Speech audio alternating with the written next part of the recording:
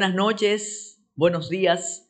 Metrópolis esta vez coincide con el día feriado, con el día de la restauración, que posiblemente sea una fecha eh, olvidada, lo que se conmemora, y más estaremos atentos a otros menesteres menos históricos y más políticos, más coyunturales, como todo lo relativo a la rendición de cuentas del presidente de la República, don Luis Abinader.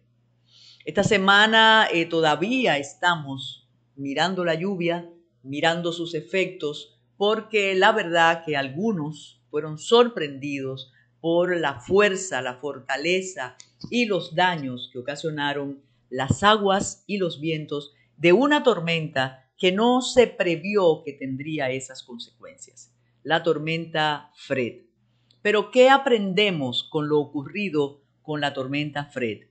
Aprendemos, y lo hemos dicho en otros medios, que se necesita asunción de los gobiernos municipales, prever las cosas simples deben ser previstas para evitar mayores consecuencias. Por ejemplo, ¿cómo es posible que las distintas alcaldías de los lugares por donde se anunció el paso de la tormenta no se prepararan recogiendo la basura recogiendo los escombros y tratando de liberar los inbornales de la basura para que no se tapen y para que no se produzcan las demenciales inundaciones que se produjeron en las ciudades por donde pasó la tormenta, por donde dejó su secuela.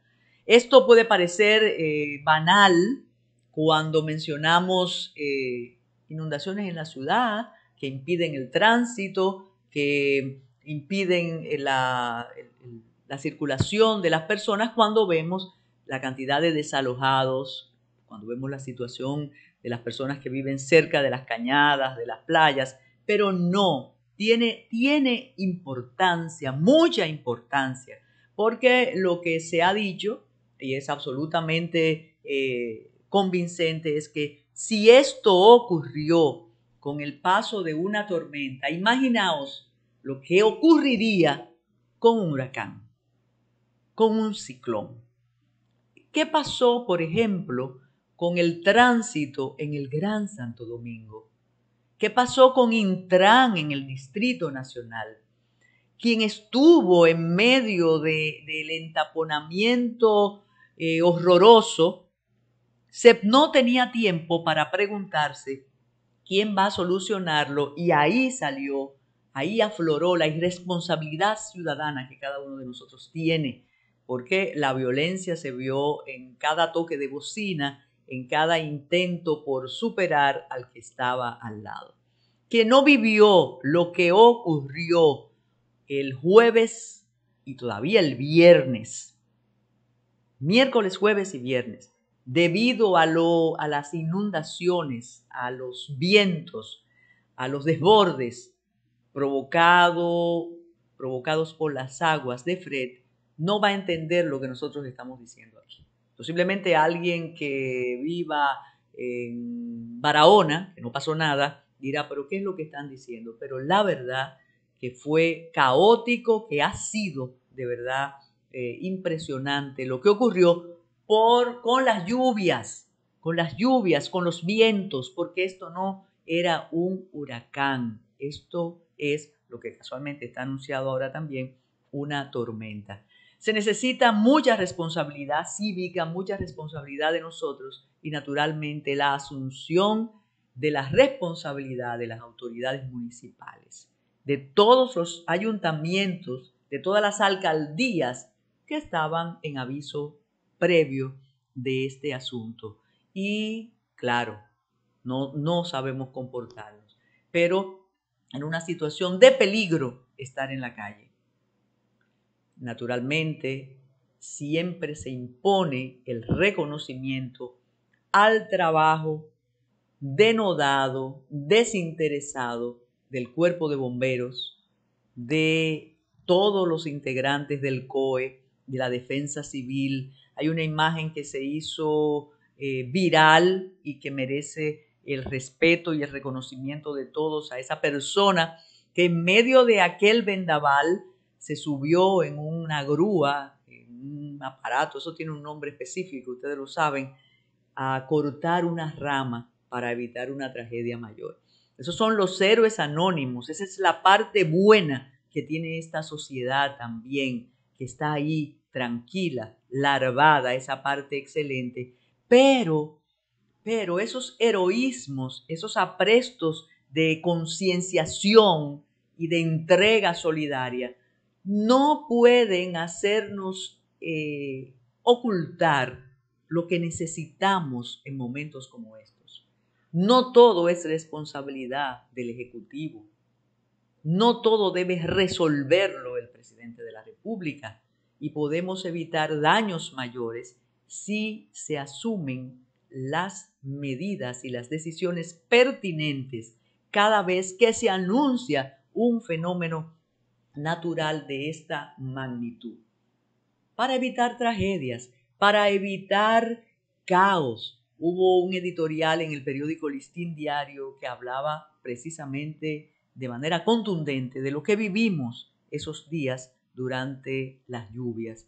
Así que ojalá podamos evitar que eso ocurra de nuevo. Sí, se oye bonito, pero no, no, no creo que sea eh, correspondiente, pero hay que hacer algo para evitar eso, sin olvidar, porque observen que esta vez no comenzamos hablando de pandemia, ni de distanciamiento, ni de mascarillas.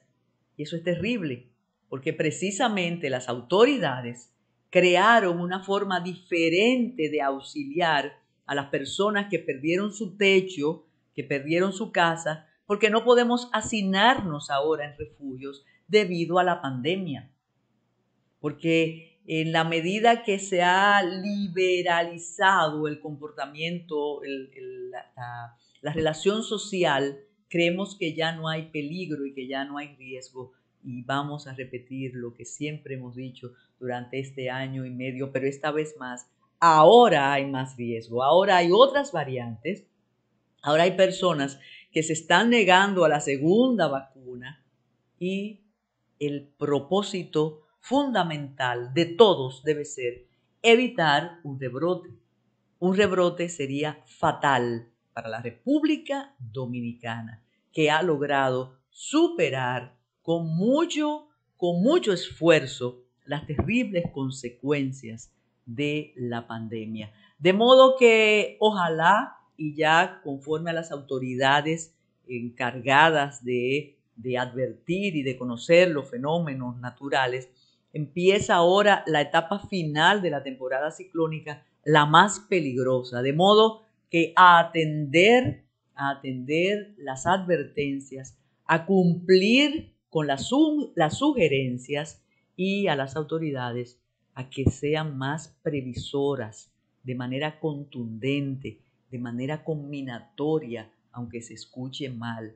Lamentable que eh, en, esta, en este país de, respeto a los derechos y a la opinión ajena, como dice el presidente, lamentable que quien se ha atrevido a criticar o a sugerir cambios en las disposiciones eh, de las autoridades ante fenómenos como el que acabamos de pasar han sido realmente eh, demolidas. No se puede disentir, hay que decir que todo está bien.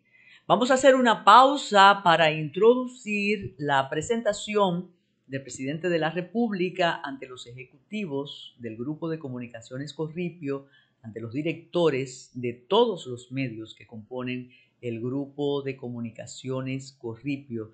Una entrevista extensa, intensa y naturalmente el presidente está absolutamente satisfecho de todo lo logrado durante estos primeros 365 días, días de sus, yo digo aquí siempre, el primero de sus siete, pero vamos a hablar del periodo de cuatro.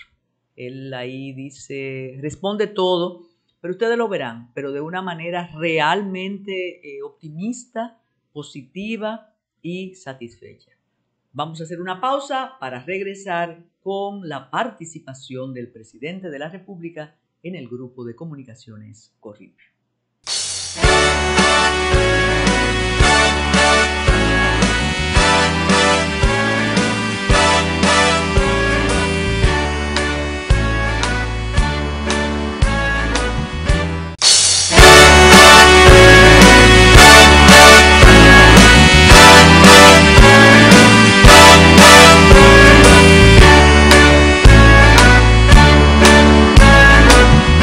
Tal como dijimos, vamos a compartir ahora con ustedes la comparecencia del presidente de la República ante los ejecutivos del Grupo de Comunicaciones Corripio, ante los distintos directores de los medios que componen ese grupo.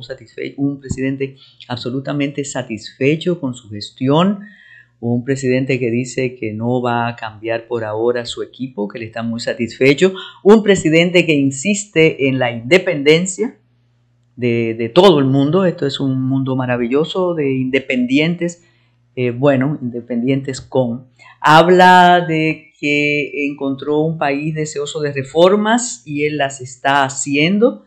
Y lo mejor es como, como decía aquel programa, vamos a ser nosotros el jurado, vamos a escuchar el optimismo y la convicción del presidente que durante este primer año lo ha hecho muy bien y piensa seguirlo haciendo bien durante los próximos años eh, que restan. Yo iba a decir durante los próximos siete años, pero vamos poco a poco, ¿no? Así que adelante es Merlin Rosario con la participación del presidente de la República ante los ejecutivos del grupo de comunicaciones Corripio y ustedes saben que luego viene como siempre a Ready para exportar.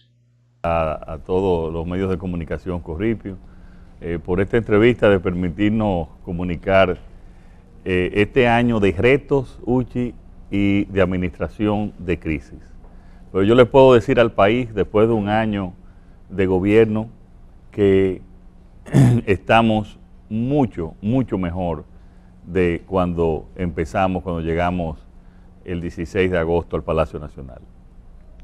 Recuerden que unos días antes la administración, el director del Servicio Nacional de Salud había hablado de un colapso sanitario, un colapso hospitalario. Estábamos en uno de los mayores eh, rebrotes en ese momento. Eh, y empezamos como nuestro objetivo principal el control de la pandemia, el aumento de las camas, eh, de las medicinas, del servicio eh, de salud en términos generales. Nos habían hablado de que había una parte importante de personas que eran tratados de manera diferente en los hospitales públicos, los que tenían SENASA y los que no tenían SENASA. Ahí también cumplimos con inmediatamente un plan para entregarle eh, más de 2 millones 100 mil eh, nuevas eh, seguros SANASA a, prácticamente al resto del país. Mejoramos los hospitales, terminamos muchos hospitales también que estaban en proceso de construcción, atendimos la pandemia, empezamos a programarnos también para la vacunación y con, si nos vemos de manera eh, relativa con otros países, Uchi, porque esto es, usted sabe que esto es una crisis sin precedentes desde el punto de vista de salud. Y si nos comparamos con otros países, nosotros hemos salido y reconocido internacionalmente eh, bastante bien. Eh, nuestro nivel de letalidad, cualquier muerte es demasiada, pero nuestro nivel de letalidad ha bajado hasta 1.15, uno de los menores niveles del mundo. y eh, yo espero que eso siga bajando. Eh, ya en, los días de hoy ha bajado sustancialmente también el, contagio. Eh, tenemos que prepararnos a convivir con el COVID, Uchi. Eso es bueno que la gente esté preparada. El país y el mundo va a tener que convivir con el COVID. Va, es muy posible que venga otro rebrote, pero estaremos preparados para ese rebrote. Hace unos días el ministro de Salud Pública anunció que en estos momentos de de baja, nosotros estamos aumentando las camas de COVID para estar preparados también para ese rebrote. Por lo tanto, yo pienso que todo el gabinete de salud, que lo encabeza la vicepresidenta y todo el, ministerio, el Ministerio de Salud y todo el equipo ha trabajado de manera satisfactoria, pero no podemos bajar la guardia. ¿eh? No podemos bajar la guardia, lo que tenemos es que aprender a convivir con el COVID y saber de que esta es una enfermedad que desgraciadamente llegó para quedarse, que nos tendremos que vacunar posiblemente todos los años. Hay algunos que piensan que la vamos a incluir en, la vacuna de la influenza, y eso lo dirán los científicos eh, y, ya los laboratorios.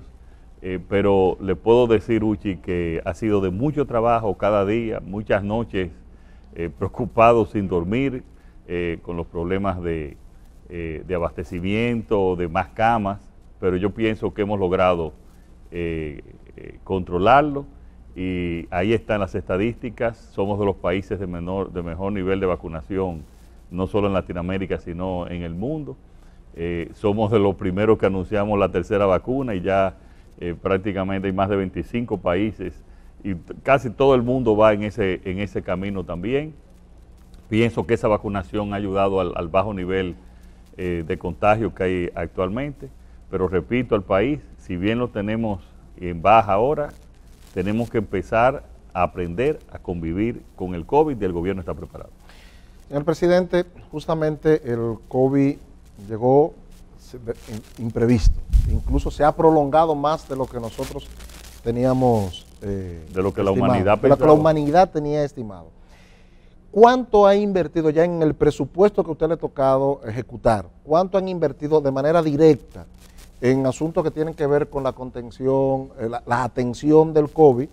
Y si han cuantificado también no solamente lo que han invertido, sino también lo que han dejado de recibir por el impacto. Bueno, mira, la, entre las ayudas sociales relacionadas con el COVID y eh, la atención del COVID, estamos hablando de unos 260 mil millones de pesos eh, directos. Ya aquí eh, los ingresos que hemos dejado de recibir, no, te puedo, no lo tengo exactamente aquí en... Eh, no, te lo puedo decir en el día de hoy, pero eso lo tienen calculado. Lo que hay que comparar el, el presupuesto del año 2020 y el realizado en el 2020. O sea, ahí te puede dar una diferencia. Pero eso, nos, eso realmente ha sido un golpe importante para la economía en todos los órdenes y por eso eh, fuimos a administrar la crisis de la pandemia, pero también su consecuente crisis económica, que tuvimos que, que trabajar de manera concomitante, eh, atendiendo la salud, pero también atendiendo la economía y lograr la recuperación que ya tenemos en este año, que como ustedes vieron las estadísticas, para junio, el, primer semestre, tenemos un crecimiento de 13.3, eh, un crecimiento que todos los economistas consideran que el pronóstico es llevar, eh, mantenernos en, doble, en dos dígitos eh, de crecimiento. Eh, o sea que ha sido un golpe importantísimo para nuestra economía y para la economía mundial también, José. La economía realmente, esta es, este es una crisis de un siglo, o sea, una, crisis que, que esperamos que sea la crisis de este siglo, que no, que no venga más crisis de esta magnitud.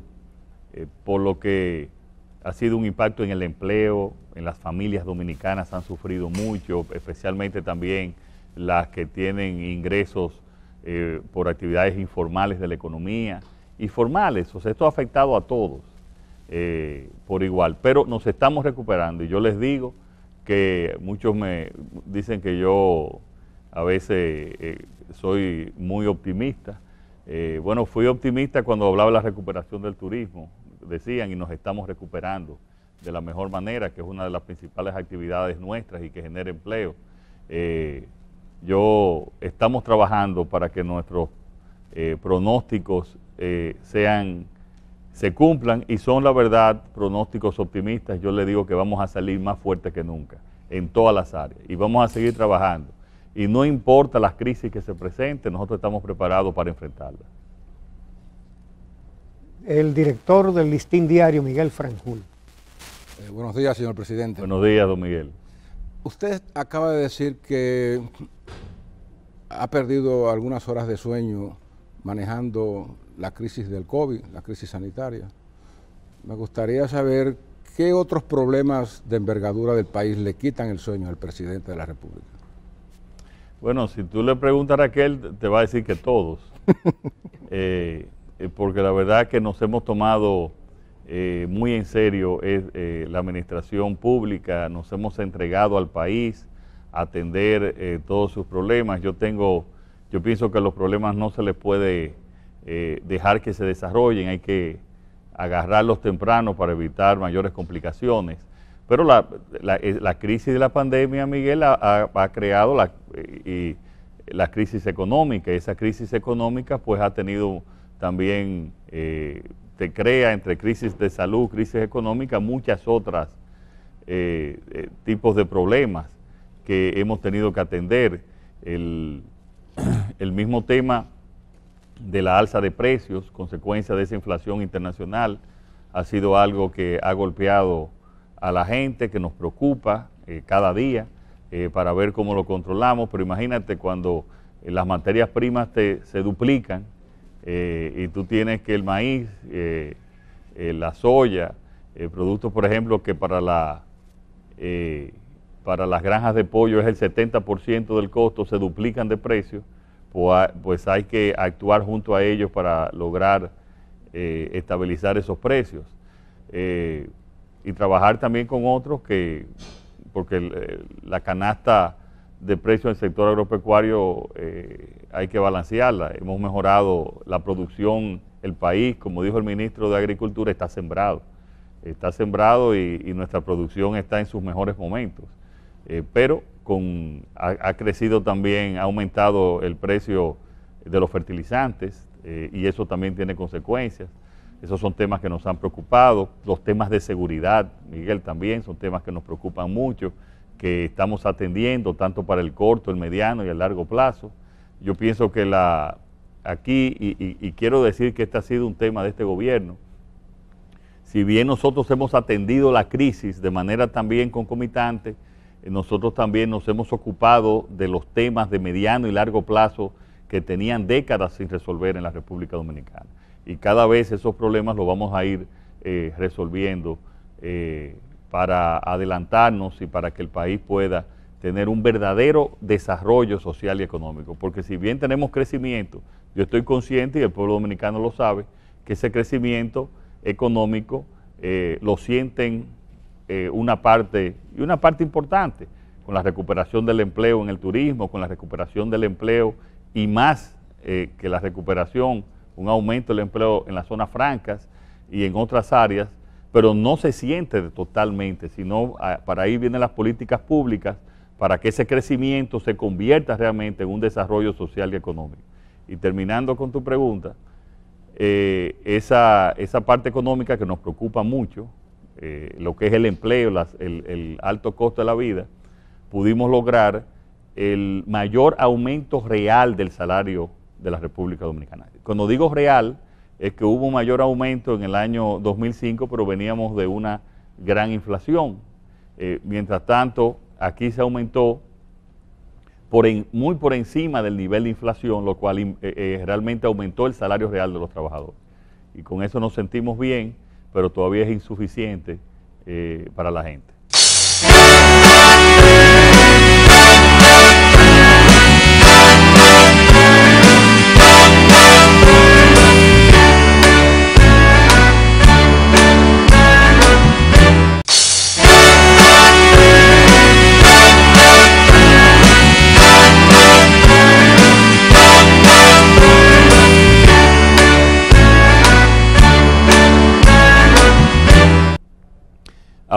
En cuanto a las reformas institucionales que nosotros hemos hecho, eh, don Bienvenido, desde cumplir con nuestra promesa de tener un Ministerio Público independiente, de llevar transparencia, yo te puedo decir que en este país había instaurado una cultura de la corrupción. Una, cultura de la corrupción a todos los niveles, a nivel privado y a nivel público. Alguna gente ah, eh, no se dio cuenta que nuestra intención no solo era de palabras, sino también de realidad y de hechos. Y hay que luchar, y tengo que luchar cada día contra esa cultura la corrupción que hay. Eh, instaurada y que muchos pensaban que era normal. Muchos pensaban que era normal. Entonces, eh, si aquí ya hemos ido avanzando en, ese, en este año. No, esa, sobre, esa, sobre el tema de la corrupción no es la misma actitud hoy que la que había hace un año. Y yo espero que en un año sea también mejore en esa eh, y continuemos y podamos fortalecer esa lucha. Pero es algo que cada día tenemos que, darle seguimiento. Eh, la inmensa mayoría del gobierno está en esa dirección, eh, pero hay algunos que de diversas maneras tenemos que recordárselo cada día, tanto del gobierno como también eh, del sector privado, de que nosotros no vamos a tolerar ningún tipo de actos de corrupción porque eh, ese es el ancla mayor que tiene cualquier país para su desarrollo. El endeudamiento ha, venido creciendo desde hace mucho tiempo. A diciembre, al 31 de diciembre, estaba en 54.500 millones de dólares, eh, tanto el externo como el interno. Quisiera saber si ustedes tienen la estadística de cómo lo recibió usted el 16 de agosto del 2020 y cuánto ha crecido hasta hoy en ese año. Mira, eh, eh, primero, eh, Uchi, hay que decir lo siguiente.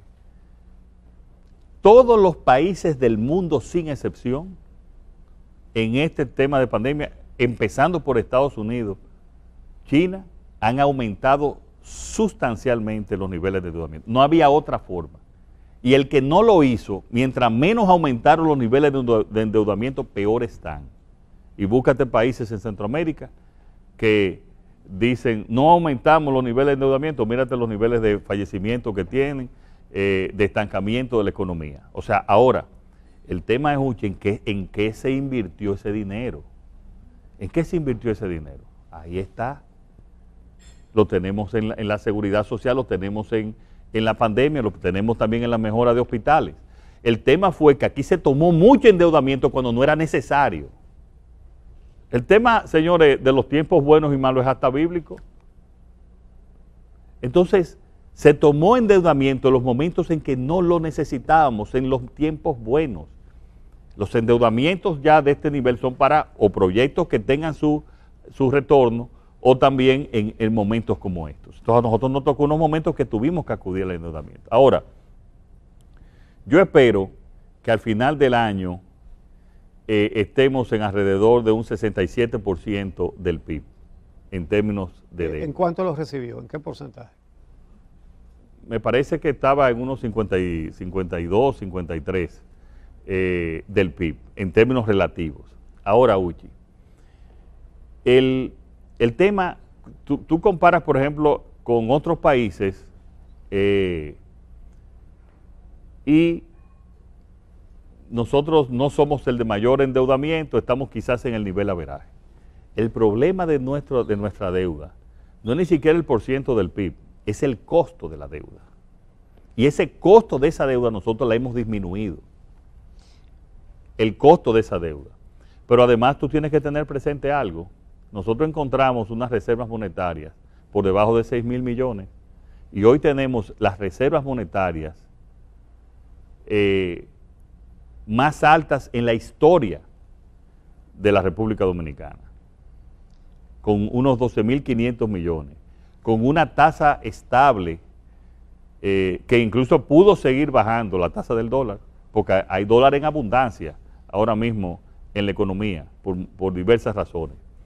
Lo que nosotros tenemos que hacer a partir de ahora al estabilizar la economía, Uchi, entonces un proyecto de estabilización y de disminución gradual de la deuda, que no puede ser ni en cuatro años, ni puede ser en ocho años, ni puede ser en doce años, sino tomarnos nosotros un plan que tiene que ser también eh, de acuerdo con toda la, sociedad, así como hemos presentado también el Pacto del Agua, que ese es otro tema, donde se involucre toda la sociedad para ir llevando los niveles de la deuda a niveles manejables. A propósito de que no puede ser tampoco ni un año, ni un shock, porque lo que nosotros tenemos que pensar es en el que seguir el crecimiento económico y mantener unos niveles de eh, disminución gradual. En esta ronda, estaba en, agendado el tema de la, de la política exterior del gobierno. Eh, el caso de Haití, que es un caso que, o sea, la situación de Haití, el nivel de relaciones que tenemos, eh, o sea, cuál es la política del gobierno en torno al, al problema haitiano. Cada vez que en Haití hay una crisis, aquí tenemos 20 mil, 30 mil haitianos más eh, indocumentados, por supuesto. Desde el gobierno de Hipólito Mejía, creo que fue la primera vez que escuché la frase, de el clamor de los gobiernos, de los presidentes sucesivos, pidiendo a la comunidad internacional, no nos dejen solo con el problema de Haití. Creo que este gobierno también ha repetido esa misma frase. Pero, ¿cuál es la política? ¿Qué tenemos? ¿Qué tenemos como Estado frente a la problemática haitiana? Bueno, José Antonio, yo creo que la política y eh, con el gobierno haitiano eh, están presentadas en los puntos que yo discutí eh, con el expresidente y penosamente asesinado el presidente joven del MOIS, allá cuando nos reunimos en Elías Piña.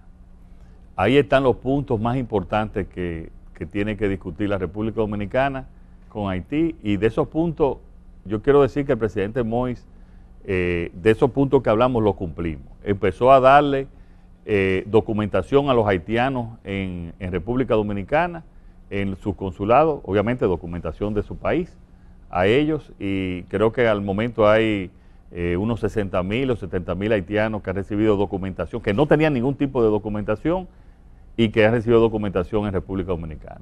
Nos aprobó los trabajos que estamos haciendo en la frontera, que están también en proceso de licitación, y que de la verja perimetral, digo, no, no tuvo que aprobar, pero lo coordinamos, que le va a convenir a Haití. Y que más que, además de temas migratorios, es un tema de seguridad ciudadana para la República Dominicana. Eso lo vamos a construir. Eh, y está en proceso también de los procesos normales estos de, de, licitación. Hemos hablado también de los hospitales para reducir e incluso mejorar también la calidad del servicio a, las parturientas haitianas que sufren mucho el venir aquí y es mejor que tengan hospitales en su país. Y yo me he reunido tres veces con lo que llaman el core group, el grupo de países que tienen más relaciones con Haití. No nos hemos, he dicho que República Dominicana, y es una frase del embajador Silier, no se puede cansar de Haití. Otros países se cansan, nosotros no nos podemos cansar de tratar de ayudar a los problemas de Haití sin echarnos nosotros tampoco arriba. Y en ese sentido, eh, nosotros en un momento de la oposición y el gobierno, con la, estando vivo el presidente Moy, nos solicitó que nosotros fuéramos mediadores. Y yo nosotros le dijimos que no, que no podíamos ser mediadores por, muchas razones, pero que sí podíamos prestar el, nuestro país para que otros países fuéramos mediadores. Hablamos con él eh, y, sugerimos al Club de Madrid y estábamos trabajando también para que el Club de Madrid fuera mediador, pero ahí vino eh, la tragedia y el magnicidio con el presidente eh, Mois. sobre esas situaciones nosotros hemos querido lo que hicimos, tomamos las medidas de seguridad para asegurar la integridad de nuestra frontera eh, y hemos tenido una situación pasiva en cuanto a esa situación, donde tengo que decir que el gobierno norteamericano ha tenido ya una posición eh, más activa en la solución de, esos problemas. Eh, nosotros tenemos y, y estamos trabajando con una distancia prudente eh, cuidando nuestra integridad, nuestros intereses y tratando de presionar para la ayuda. No nos vamos a cansar y vamos a continuar, eh, pero tú sabes que es un tema que tenemos que manejar con la, con la delicadeza, la prudencia y la firmeza necesaria. Continuamos esta entrevista con el presidente Luis Abinader. La pandemia obligó a transformar el modelo educativo dominicano, nos fuimos a la virtualidad. Ahora se ha anunciado la presencialidad. ¿Se siente el presidente satisfecho por lo que se logró y qué debe esperar el pueblo dominicano el año que viene? Bueno, mira, e, ese, ese modelo de la virtualidad ha sido reconocido eh, por organismos internacionales eh, como un éxito. Pero yo pregunto también a ustedes, ¿cuál era la alternativa? ¿Había otra alternativa? ¿Había otra alternativa a ese modelo? Entonces, dentro de esa alternativa que fue la virtualidad, un éxito en la forma en que se hizo. Incluso ha sido, y te lo digo porque a veces tenemos que elevarnos y ver también esos organismos internacionales. Ahora, la, el reto está ahora en hacer exitoso el año escolar presencial. Miren, esto es un dato que cuando hablamos de la construcción, ¿ustedes saben cuántas escuelas detenidas, infraestructuras escolares habían en el país? No por el COVID, ¿eh? sino desde, desde algunas que datan de hasta 10 años. 430. Más, de 400 infraestructuras este, eh, escolares de 4, 5 y 6 años detenidas. ¿Por qué? Por lo que yo llamé el nudo legal, que ya fuimos al Congreso y lo aprobamos y estamos en el proceso ya de, de nueva contratación. Porque se habían pasado el 25%. Había muchas de esas escuelas que se habían empezado sin planos o en áreas de riesgo, al lado de ríos, que habían tenido que detenerse. Es bueno que ustedes sepan que hay más de 35 casos de contratistas que le dieron avances sin saber dónde iban a construir.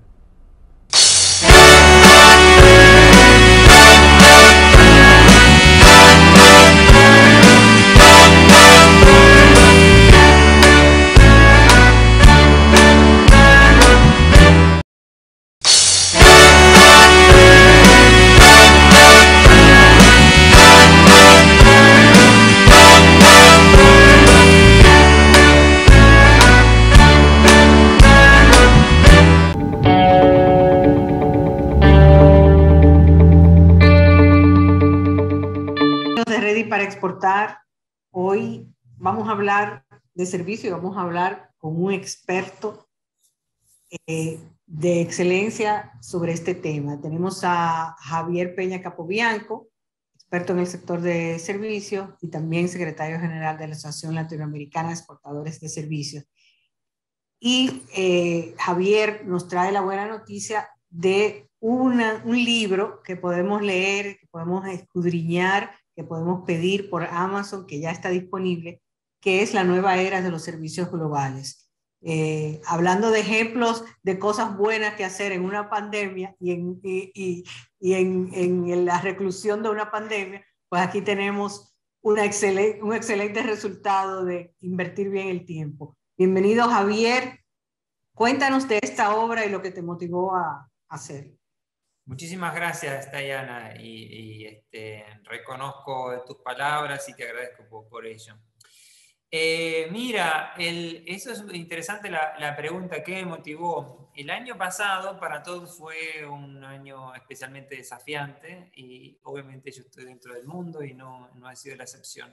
Pero justo unos días antes de, acá en Uruguay, yo estoy, tengo base en Uruguay, entonces justo unos días antes de, de llegaron los primeros casos de coronavirus, alguien me cuestionó diciendo, ¿qué pasa con los servicios? Los servicios este, están más o menos en los últimos tres años, eh, están en lo mismo, no hay mucho nuevo. Entonces tenemos que pensar de aquí a 20 años. Digo, uy, qué interesante eso, cómo pensar de aquí a 20 años, eh, cómo serán los servicios de aquí a las empresas de servicios globales en particular de aquí a 20 años. Y eso me motivó muchísimo Em, a partir de allí empecé a, ver cómo podría ser generarse una metodología para, para pensar de manera prospectiva en, y así me enteré que la existencia de unos métodos que se llaman prospectivos para eh, entender lo que puede llegar a ser el futuro, obviamente sin ser Nostradamus porque esa no es la idea. Entonces, eh, lo primero fue como generar la metodología y, y eso fue ya un desafío porque definitivamente no sabemos qué va a pasar dentro de dos segundos, menos de lo que va a pasar dentro de 20 años. Pero generar la metodología fue muy interesante. Y a partir de sí eh, la pandemia y, debo confesar que la pandemia eh, en Uruguay fue bastante benévolo porque en los primeros dos meses nunca hubo eh, cuarentenas obligatorias, sí tuvimos unos primeros dos meses de, de autorreclusión.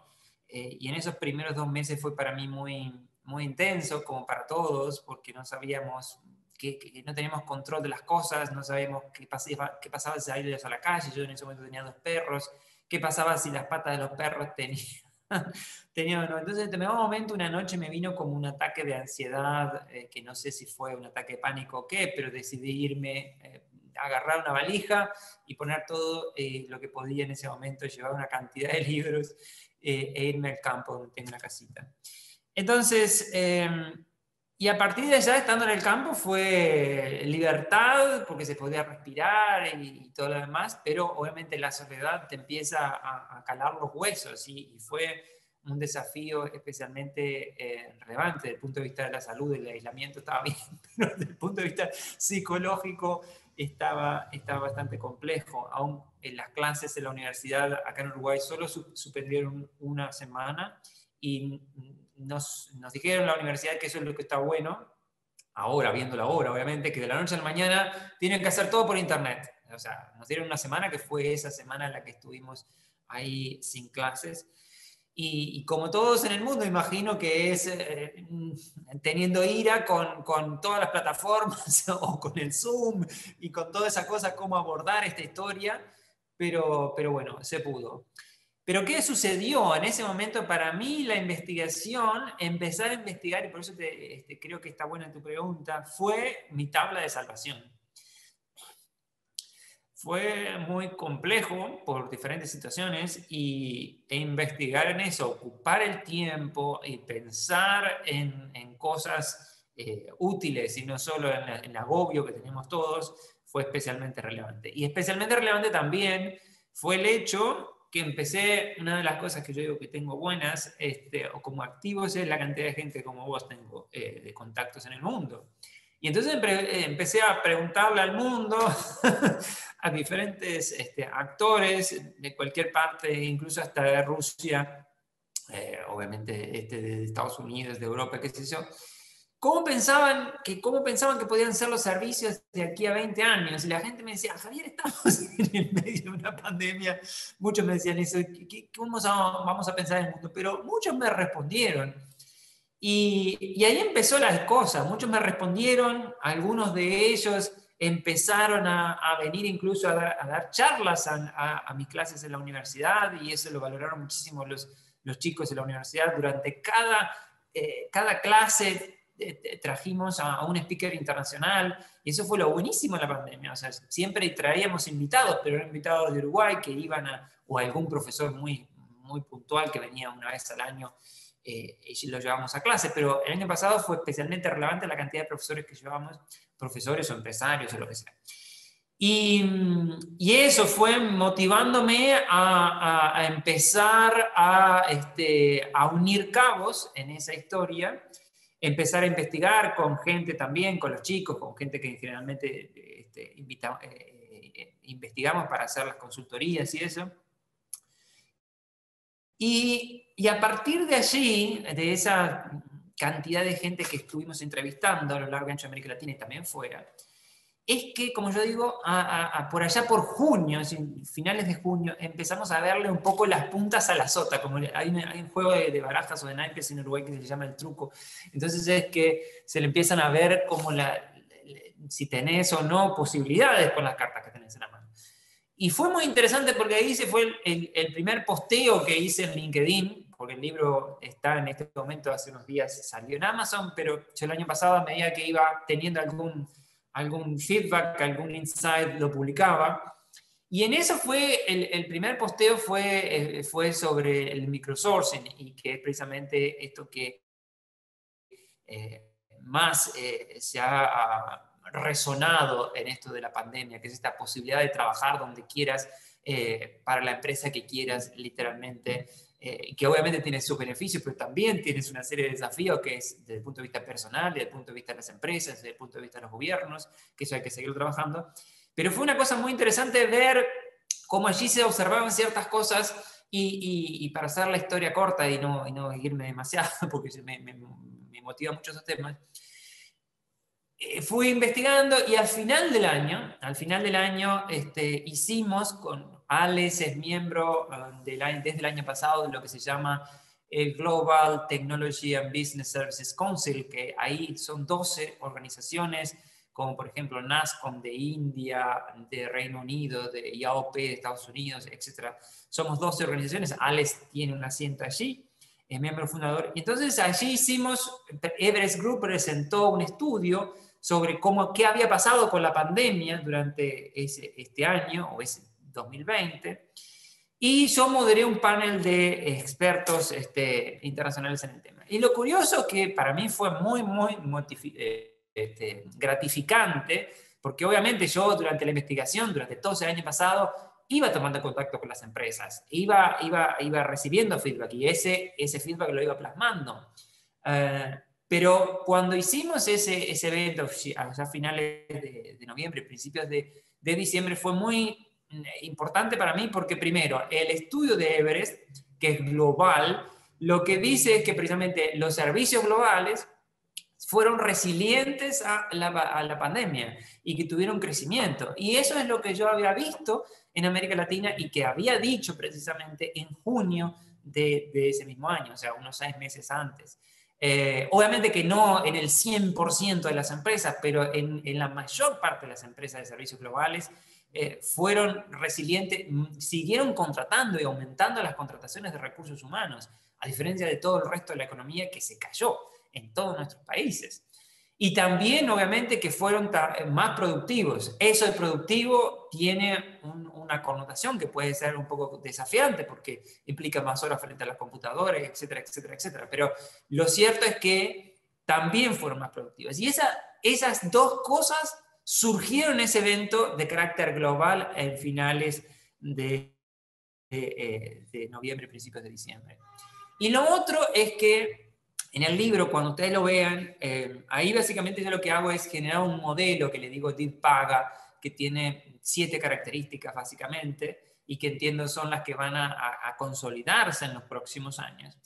Y en esa reunión que yo estaba moderando de los, de los, expertos globales, ahí no es que literalmente me hablaban de lo que yo había escrito, pero definitivamente conceptualmente aparecieron muchas palabras y yo cada vez me sentía más contento y más seguro de lo que había escrito.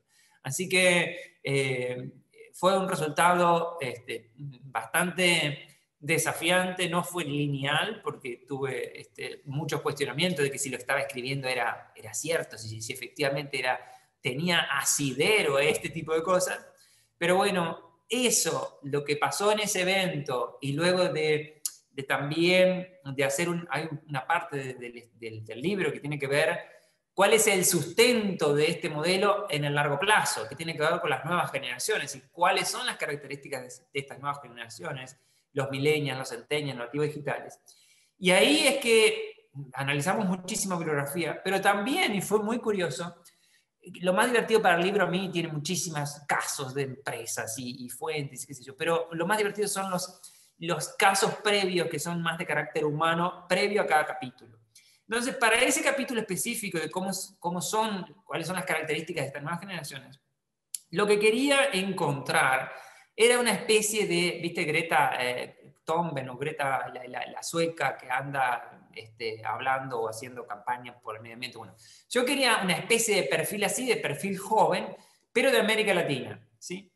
Y le dije al chico que investiga conmigo, quiero un perfil así, y me trajo algunos, eh, y empecé también a, vincular, a preguntarle a algunos colegas de América Latina, y por H por B llegué a, llegué a alguien, ¿sí? Y este alguien yo no le dije, le dije los datos del libro, obviamente, pero empecé a eh, hablar con este chico, un chico de 19 años de Chile, y fue espectacularmente maravilloso porque sin contarle las características que dice la bibliografía que tienen estas personas, él me fue relatando cada una de estas características y que coinciden. Entonces, obviamente fue un caso. Sí está claro que el que yo entrevisté fue un caso.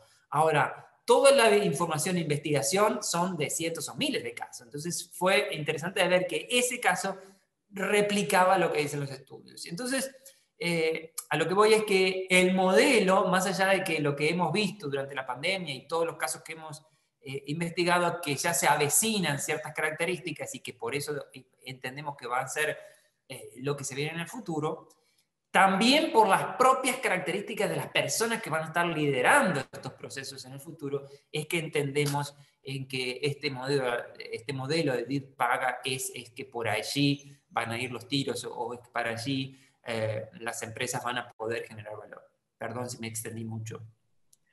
Eh, yo, yo quisiera, obviamente, eh, soltamos a todo el mundo a que, que vaya a y compre este libro, eh, nos hable un poquito para, para, aclarar, porque a veces cuando hablamos de servicios globales, servicios eh, no tradicionales, servicios modernos. Hay, hay una confusión de términos cuando hablamos de servicios globales, ¿de qué hablamos?